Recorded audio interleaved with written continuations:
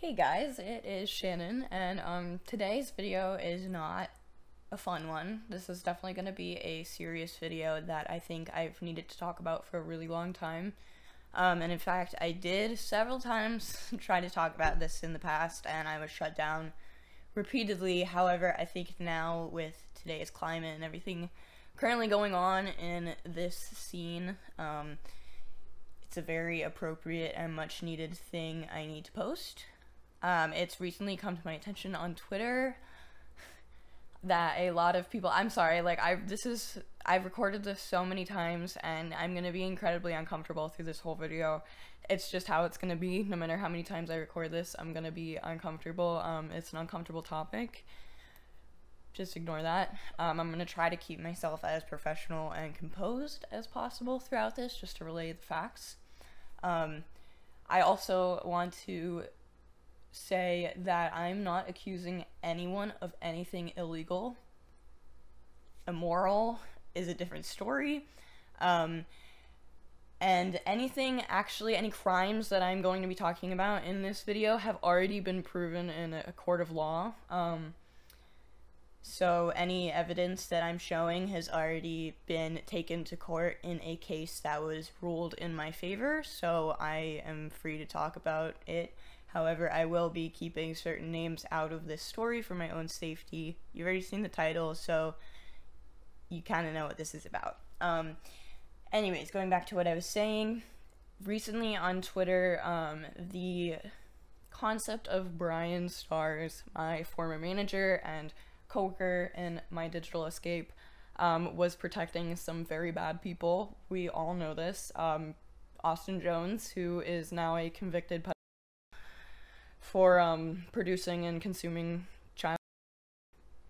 I'm also going to be censoring these words probably because I do want this story to get out there and I don't want YouTube to suppress it because we're talking about real life subjects that happen. Um, but yes, so we know Austin Jones. There's many other stories coming out that um, I'm not really a part of or aware of or privy to the details, so I'm not going to be talking about those people. However, there is one case that directly affects me more than anybody that, like I said, I've tried to talk about on YouTube a few times that have been shut down throughout the years. And I think it just needs to be said, it needs to be heard, and I think people need to be aware that this kind of behavior is occurring and probably will continue to occur with certain people in this scene and this industry. So I guess let's begin with who I am talking about. Um, I'm going to be talking about my ex Diego Soares or Diego Navarrete. Um, most people know him as Diego Soares. For a long time, he was really just known as my ex boyfriend, but recently he has been promoted in the gaming scene by the likes of big names like Ninja. Um, I really don't know anything about gaming, so he's the only streamer I know. Um, but he has been promoting him. They have been, as far as I can tell, doing competitions or something together. I don't know. Whatever. He is coming back into the spotlight, and that's why I think this needs to be talked about. I dated Diego Soares about five years ago now when I was 18. I'm about to be 23. Um, he is about to be 24 in August, so just keep that in mind as we talk about this story. Um, he is not the person who assaulted me. I'd like to get that right off the bat. I'd like to get that clear. Um, he did a lot of shitty stuff to me, but that he is not the person that assaulted me. Um, all right, let's just begin. He sought me out on YouNow. Many of you guys know I used to broadcast on YouNow, and that was really where he had most of his fan base. And our relationship began when he would send his fans over in droves to spam my chat with Diego thinks you're cute, Diego wants your number, Diego's gonna hit you up after this, respond to Diego, Diego wants your number, Diego wants your number, send Diego your number. It, it was like just very overwhelming, and at first I relented and I didn't give it to him. I didn't even DM him, but eventually I did DM him, I did give him my number, yada yada yada. I wasn't interested at first, but eventually he was very manipulative and charming, in my opinion, and got me um, he he won me over essentially. Now, upon winning me over, we were not dating. I had never met him. We only talked um, via FaceTime, Skype, online. We had a pretty public, like, flirtatious relationship, but we were not together at this point. Um, however, I did want to see if this was something I wanted to pursue, so we started talking about me possibly coming to visit him where he lives in Colorado Springs. Um, alright, so that's where everything starts to go really fucking wrong. After I had minor semantics of this may be incorrect, but I think it was after I, I had already booked my plane ticket or we were in the process of booking the plane ticket. He told me there was just one minor little problem about me coming, and obviously I said, you know, what what is the problem? Tell me, I'm curious. You know, you should have probably told me this a while ago, but let's let's hear it. And he tells me that he has a fan who and he does describe her as a fan to me, um, who is ravenously obsessed with him and is under the impression that they were together. That's how it was initially brought to my attention. I was told that's pretty much it. You're not going to hear about this. You might see this person who this is the person I'm not going to name because this person is the person who ended up stalking and assaulting me um, stalking over a various period of months and eventually tracking me down and assaulting me in person. This is the person. Um, I reread. This person I'm sure is watching this. Um, I, I would like, if you know who this is, please do not contact this person. Now I'm talking to my audience. Do not contact this person. To this person, do not contact me. Do not contact my audience. I reread the restraining order I have, which we'll get into in a minute, and I do have the right to follow up with another court case if you break this restraining order. I will sue you. That's not a threat, that's a promise. Um, so stay away from me. But I, I it's finally time that I get to tell this story because I've lived with this for years and I have this is really what ultimately led me to distance myself from YouTube. I'm under the impression that this person maybe met him once or something, that this girl met him once and like maybe had a. I really don't know. I don't know. She was under the. I was told she was under the impression that they had a thing and he was not under that impression. So I booked a flight, either I already had or I do right after this conversation, and yada yada yada, things go on, and I make the trip to Colorado to visit him for the first time to see if this is a relationship I want to pursue. Little known, unbeknownst to me, this girl, this unnamed girl, had been watching my social media presence for weeks, if not months, and analyzing everything I was doing, everywhere I was going, and she had an inkling, I guess, that I was going to meet up with Diego, and sure enough, she she found where I was. Um, I would like at this point to show you. This is my uh, this is my court documents. It's a little raggedy. These are my court documents, which I've talked about on live streams before. Um, can't really show you because it has a lot of personal information. However, I will be reading through the evidence that I took to court because it tells my stalker's story in her own words, which I think is more disturbing than anything I can put into words for you. So at this point, I'd like to delve into my stalking and my assault. Alright, so like I said, we're gonna go through this evidence here. I'm not gonna show you, but this literally, like, I'm almost positive. I didn't buy the court records, but they exist. Um, there are public domain court records that you can get. All of this, like I said, has already been proven in a court of law um, in a civil case that I won and now have a restraining order against this person. They are not allowed to contact me, be near me, or even talk about me on social media. That is a specific part of my documents. It's a specific clause in my order. And, um, yeah, so like I said, if you know who this person is, don't contact them about me. And if you are this person, don't contact me.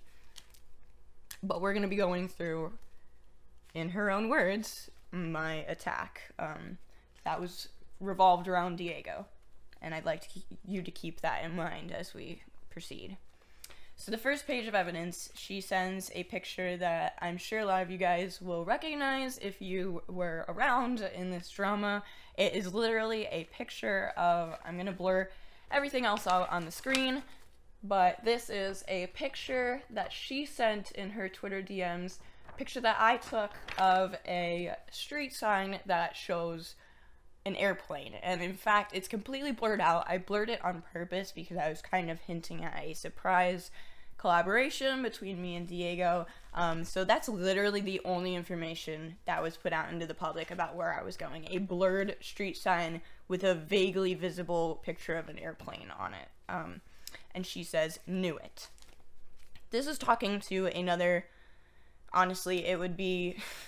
It would be too much of a compliment to call this person an influencer or YouTuber or whatever. Just a random person um, who helped her plan this assault. This is not Diego responding. I'm gonna call this guy Guy. Let's just call him Guy. Her knew it. Guy. Five hours from now. You have a little less than five hours to get ready. Her. I've been ready since I woke up. I'm waiting for a friend to pick me up. Guy. This shit is exciting. I cannot wait to see this go down. Her. I can't believe I figured it out guy. That arrogant little wart will get what she deserves. Her. I am so ready, I'm long overdue for an apeshit rampage. Fuck yeah, she will, and if it goes down, she's getting her hair ripped out first. Guy. Too bad she doesn't have much left to rip out. Her. True, I'll shove whatever I can rip out into her shit mouth. Her. Er, guy, I'm sorry. Guy. This bitch doesn't even know the storm she's about to walk into. Make sure to leave a black eye so bad she can't see any of the dicks in her face. Her. Oh yeah, hopefully she'll swing when I make a comment about her bald head. Also, I fucking will. I'll make her mouth and every other fuckhole unable to use.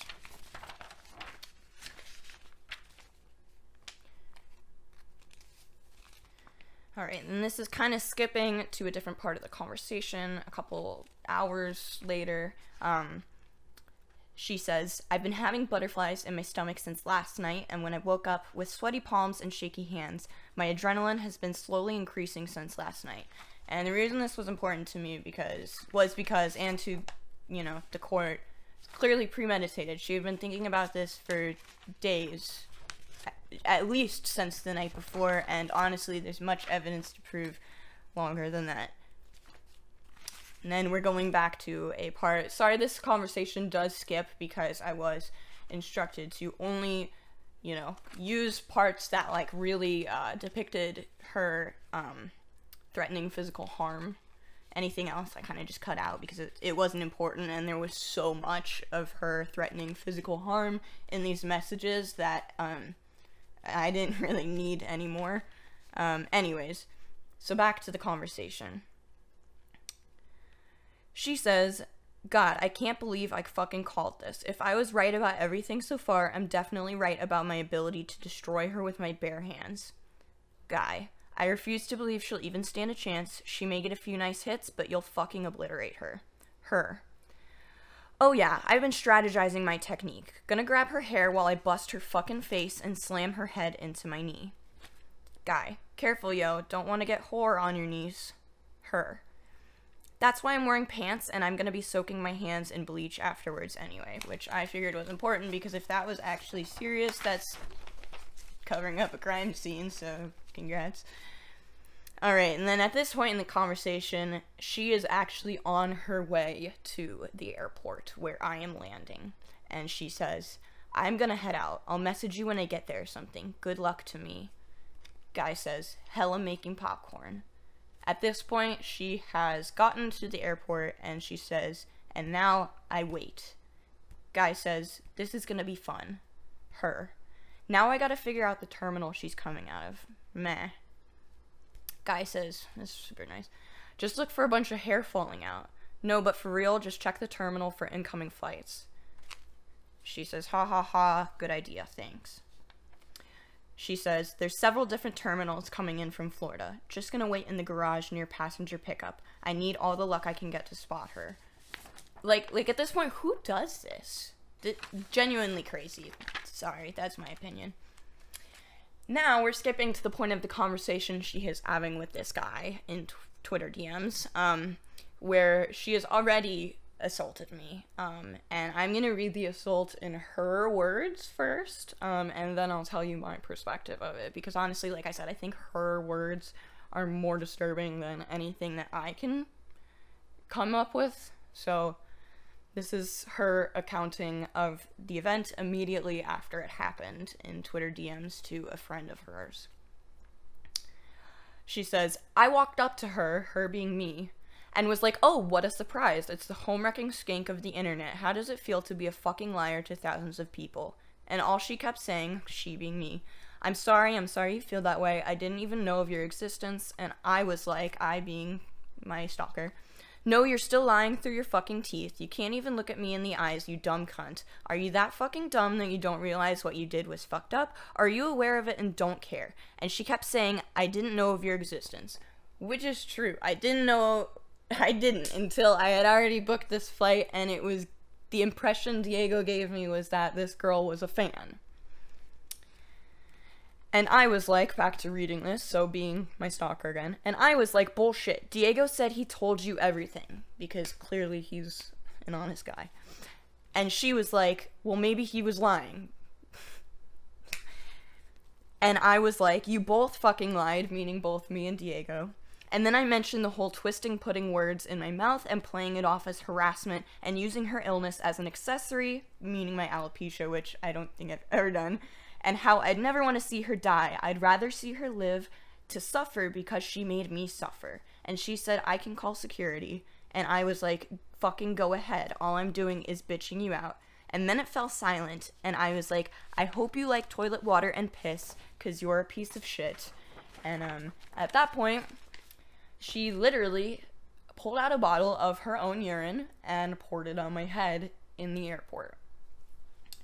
The original goal was to get me to swing first and fight her um, with the things she was saying to me, which were incredibly vulgar, incredibly horrible. Lots of comments about my alopecia, lots of comments about me being a whore and a cunt, and etc. etc. Um, but I'm not an asshole, so I just apologized and tried to de escalate because I am an eerily calm person um, when confronted and essentially all she could get out of me was nothing. So she poured a bottle of her own urine on my head, which she brought as a backup plan. Um, so that is the assault. Yes, in the United States, pouring bodily fluids or throwing urine or feces at someone is classified as an assault. You cannot throw your bodily fluids at other people. I'm sorry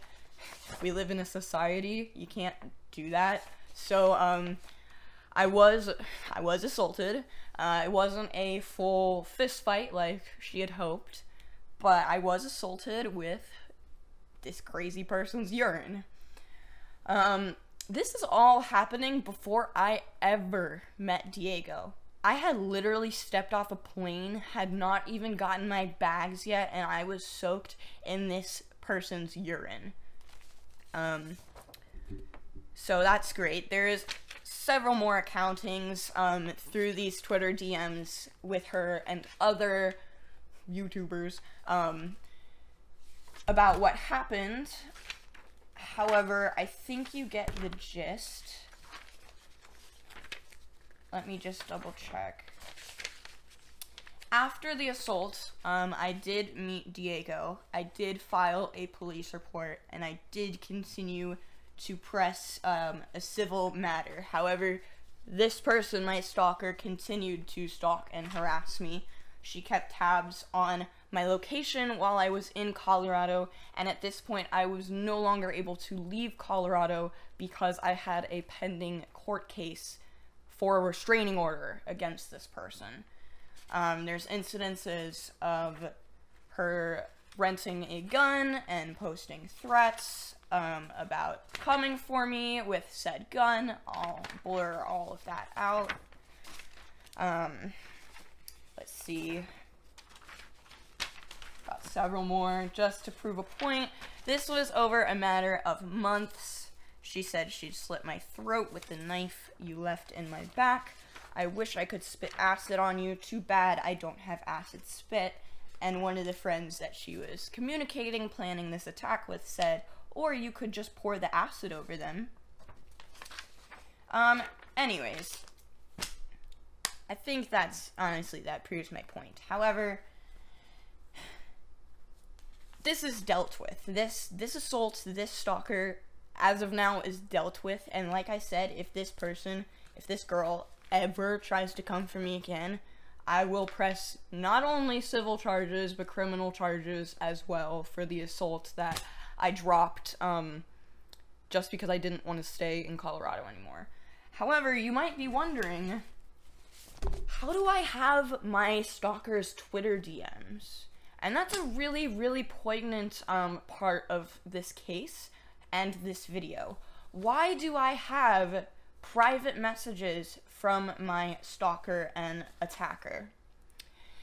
And the answer is because Diego Soares, my love interest at the time, had access to all of these DMs and were reading them in real time as this was happening. He knew she was planning this assault. He knew she actually came to the airport. He knew she was there, and he never said anything to me. And we are fucking lucky that all she did was pour a bottle of piss on me because I know she wanted it to be much worse. And it could have been much worse. He knew. The entire time, all he had to do was say, Stay at your gate. There's someone there to hurt you, and he never said anything. And the craziest thing is, I never put this together until much after the fact when I was actually in court. Diego did testify on my behalf in this civil case um, about this assault and me getting this protection order, which again, I will reiterate that I did win with flying colors. Not only did the judge say that she had never seen so much incriminating evidence, this isn't even all of it. I also had video evidence, flash drives full of it that I played on a TV for the court. Um, so much evidence. Not only did she say that, but she looked at me and said, You need to stay away from this young man because when he testified, albeit on your behalf, he was smiling the entire time. He loves this, is what the judge said to me. He loves that he got to pit two young women against each other and manipulate them both from completely different standpoints, and it ended up in this perfect storm of you getting assaulted. The judge said this. I- I'm not saying this. The judge said this. She told me I needed to probably press criminal charges if that was something I could do, and I told her I was not going to because it meant staying with him, with Diego, because I knew I couldn't afford a hotel for months. You know, my parents couldn't. This, um, this assault, and also I did, um, I did reference this case on Twitter as a domestic violence assault case, because in the state of Colorado, attacking a former partner's new partner is legally domestic violence. So, I spent a lot of time um, during that trip that you guys saw the good parts of on YouNow, spending time talking to attorneys, to my parents, to victims, advocacies. Um, none, none of what you saw was actually what was real. And in my opinion, the entire time I was there, I think Diego was trying to sabotage my court case. He purposefully woke up late the day of my court case, told me he printed evidence when he didn't. I mean, it, it is just astounding. He, uh, above all else, he knew this was about to happen and did nothing did nothing, and then continued after the fact, after I got home and we broke up, to continue to harass me on social media. He even started a number one trending tag on social media, um, Shannon is over party or something, uh, about how I was the abuser. When in reality, I had literally just spent a month sitting in my personal hell awaiting a court date so I could have paper protection from his, I guess, ex girlfriend who he actually was dating and lied to me about, um, and lied to her about the situation as well. Like, none of this had to happen. So, we know now why I personally think he is equally culpable in that attack. Not legally, but morally, he knew. He knew it was about to happen, and he. Some part of him wanted to see it, I'm sure of it, because he let it happen. Um. Yeah. So, we're gonna take this full circle a little bit now. Just really quick. And um, we talked about Bryan Stars in the beginning of this video and him protecting people such as Austin Jones and um, other other people in the industry that are slowly coming out of the woodworks. Alright, sorry guys, my camera overheated, and honestly, I did too a little bit, so I needed that for a second, but I'm now gonna talk about what I was about to talk about. Bringing everything full circle, we started this video with Bryan protecting people, and I would like to share how I feel he is personally involved in this situation and protecting Diego. Um, like I said, the aftermath after this assault and our inevitable breakup, he did everything. He, being Diego, did everything he could to tarnish my reputation online and um, harass me, just make me feel small and terrible and shitty. And it worked. It was maybe the most depressed I've ever been in my entire life to have so many people turned against me for something that I didn't do, um, in fact, was done to me. The only thing I did in this relationship was essentially get assaulted and then end it. Um, uh, amongst being, you know, the social media drama that culminated from this event and the massive backlash on everyone involved, um, rightfully so for some, and I would say unrightfully so for me. My manager at the time got involved my manager being Bryan Stars, and told me I had to absolutely knock it off and um, stop what I was doing online in terms of trying to talk about this situation and expose the people involved for who they were and what happened. He said, Bryan said I absolutely had to stop, and in fact, he sat me down. I was in person with him at this point. Bryan sat me down and wrote out a statement for me to post on my social media um, about ceasing this drama and everything. And um, this is when it occurred to me because after posting my my statement that Bryan wrote out for me, Diego posted an almost identical statement on his social media that I knew Bryan had helped him word. And this is when it occurred to me that not only was I Bryan's client, Diego was also Bryan's client. Amidst all of this drama, amidst my assaults that Bryan knew about and everyone knew about, frankly, Bryan signed him as a client on the same management label as me. Are you kidding me? Bryan also knew about all of this, and behind my back and everyone in MDE's back, he signed him and many other shitty people that we didn't know about. We didn't know for the longest time Austin Jones was still signed to the same management as us, even going through his trial. Allegedly, that's what I've heard. I, I again, I'm not trying to get sued. Anything I'm saying is allegedly what I've heard, besides the stuff that's already been proven in a court of law. Yeah, and it gets worse from there, honestly, because there's other things Bryan knew about involving Diego. And this is really where I feel the story is ultimately important to share because this is now not just affecting me and my internal bubble. This is actually, or did in back in the day, affect a lot of young people for reasons I'm about to get into, um, and the title kind of hints at.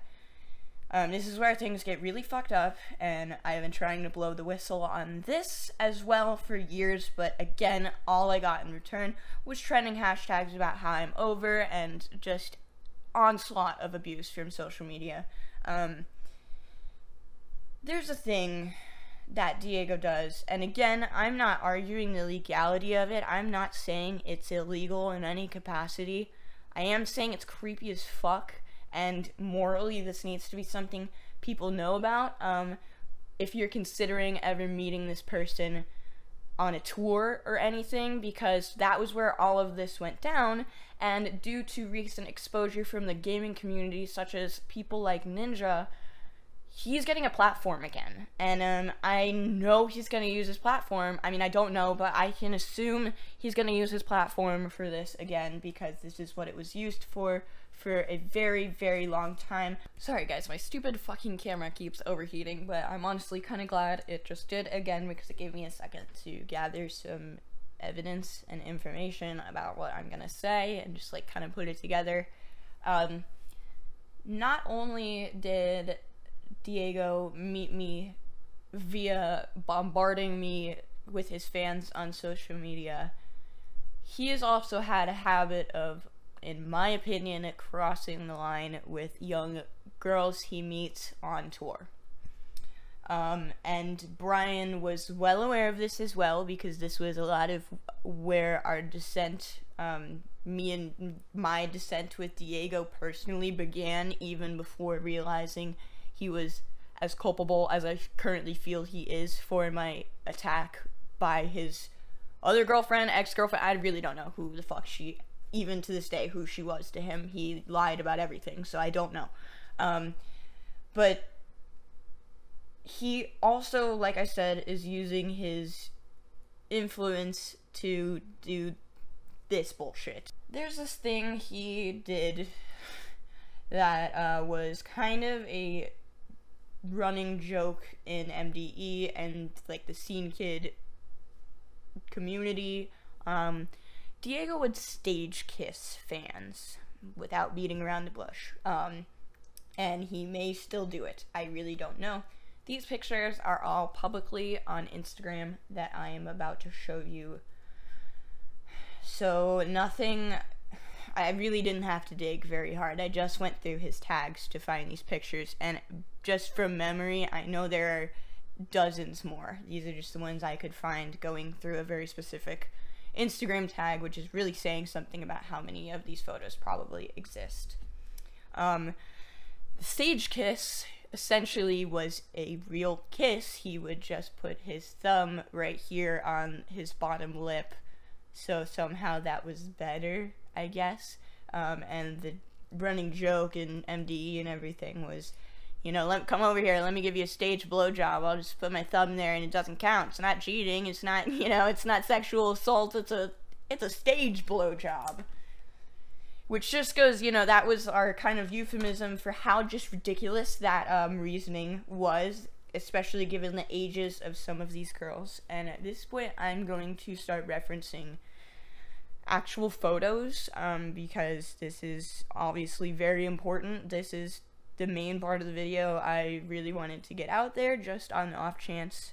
Honestly, not so off chance anymore. He continues competing in these large scale competitions and touring again. Um, before I start showing these pictures, I just want to mention I did my best to blur out these girls as they are underage. I'm also going to be blurring out the majority of the username just so you cannot find these girls because they don't need to be put in the spotlight for this. This is not their fault. Um, everyone I'm about to show is well under the age of 18 in these photos. Um, and I would also like to say that Diego in um, 2016 on the Boys of Summer tour, which is where all of these photos are essentially from, um, was 20 years old. 19 at the end of being 19 or 20 years old. I honestly think he was 20 because he's about to be 24 in August. So 2016, I'm going to say he was 20. And it, actually, yes, he was 20 because these pictures are from September um, 2016, so he was already 20 if these um, timestamps are accurate. So I'm going to begin my first photo. There's a lot, so like I said, I've been trying to blow the whistle on this for a while, and honestly, I don't know why just no one ever gave a fuck because I'm seeing a lot of guys torn apart for, you know, rightfully so, but for less obvious creepy things. So I guess maybe I don't know. I really hope that um this is taken seriously and other people start to look into this besides me. Again, we're going to start um with some photos here. So this is a first photo from the Boys of Summer tour with Diego and a fan where I actually was kind of dumbfounded by this one because her caption, despite having it still up, which I, I'm not dumbfounded by her, I'm just dumbfounded by the fact that he continued doing this after him literally liking this photo with this caption. It says, Diego, in quotes, I regret doing this, slash, he liked. Now, if we go to the profile of this person, again, who I am trying to keep as anonymous as possible, she graduated high school in the class of 2018, which in 2016, when this kissing photo was taken, would have made her, assuming she graduated at age 18, like most people, about 16 years old. Again, like I said, illegality is another thing. Um, immorality is really what I'm discussing here, and you can make your own decisions. I'm just sharing the information that is already on the internet. Moving on to the next photo. This is also a photo from 2016 when Diego was 20 years old, and if I go to this profile, sorry, I was um, looking for the thing on this picture. Uh, this person states they are college bound in March of 2019, which would make this person in 2016, assuming again that they graduate at the age of 18, which is actually being generous because I graduated at the age of 17. That would make her approximately 15 years old in that kissing photo. Moving on to the next photo, and I mean, these are just the ones where I could literally find the ages of these girls in question. Diego, again, in 2016, is 20 years old, and this girl, according to her profile in 2020, is 18, which would make her approximately 14 in that photo. Um, again, there's a thumb there, but I really don't personally think a thumb makes much of a difference when you're a 20 year old man and you're stage kissing a 14 year old girl. Again, we're going to go on to another photo from 2016 in which he is stage kissing a fan. Stage kissing, I literally am using the word as a joke. He's kissing these girls with his thumb blocking the part of his lower lip. Some, he's blocking it more than others. I'll give him that, but what the fuck? This girl celebrated her sweet 16th, according to her profile, in October of 2017, making her approximately 15 in the age of the kissing photo. And finally, on the last one that I feel like showing you guys with, you know, verbalized proof, is this girl who stage kissed Diego in 2016. And I actually, unfortunately, found a picture of her holding her driver's permit, which I will not be showing you for fucking obvious reasons. Um, that states she was born in 2003, which would make her approximately 13 and Diego 20 at the age of that photo. Again, there's a thumb there. I really don't think that makes a difference. And if you do, I think you really need to reevaluate your priorities and reevaluate who you support because it's unacceptable. It's just blatantly unacceptable. You know, like I said, in some of these pictures, he's covering more with his thumb. In others, he's not. Um, personally, I think it doesn't matter.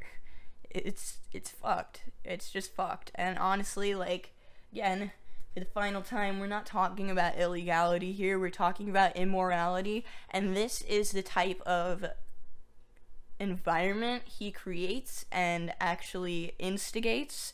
This is his idea, these stage kiss photos. This has become an ingrained part of this entertainer's brand, doing these staged kissing photos with girls who, if these numbers are correct on their social media, are as young as 13 years old, and that's a problem there is no like we shouldn't be fostering this type of